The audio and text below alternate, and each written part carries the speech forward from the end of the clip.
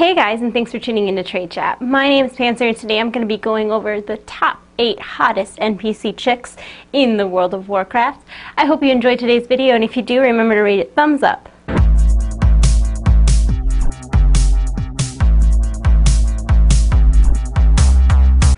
Number 8 on our countdown is Thisalee Crow. This quest giver in Hyjal is no typical night elf. Her feisty kill first, ask questions later attitude is exactly what landed her on today's countdown. That and she threatened to stab me. Blood Bloodrose Datura in Zul'Drak fills our number 7 obligatory Death Knight spot. And if red eyes aren't your thing, don't worry. She's been reskinned and has beautiful baby blues now. Coming in at number six on today's countdown, Alex Alexstrasza. While she may be the queen of the dragons and the guardian of all life in Azeroth, in this world, she is the inspiration for some really scandally clad cosplayers. Starting off the top five of our countdown, Sylvanas, the queen of the Forsaken, has been reskinned three times. All of them were hot. Number four in our countdown is Ysera, who's the girl of many people's dreams, and hopefully we'll see a lot more of her in the rumored Emerald Dream expansion.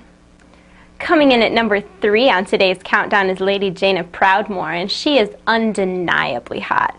Just ask Arthas, or Thrall. Sally Whitemane comes in second on today's countdown. She's been a fan favorite since Vanilla WoW, and she's the subject of some very sexy fan art.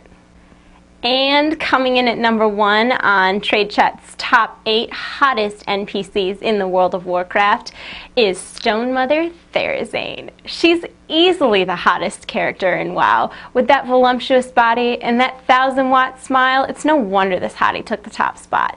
At least if you're wearing your beer goggles. Who do you think the hottest NPC in WoW is? While you're thinking about that, check out today's screenshot of the day.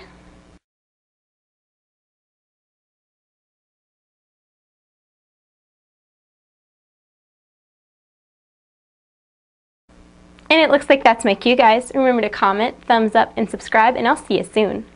One more quick thing before I go. Blizzard did release screenshots of the male demon hunter, which was very exciting. Not as exciting as a cinematic or some in-game footage would have been, but I'm happy with the screenshot. Um, also, I wanted to do a quick reel of everybody who sent me their Love Fool titles. Thank you, congratulations, I appreciate it. Um, if you have a screenshot to submit for the screenshot of the day, uh, you can leave it on my Facebook fan page or any other fun WoW screenshot. I love to see them. Um, I hope you guys have a great day and I'll see you soon.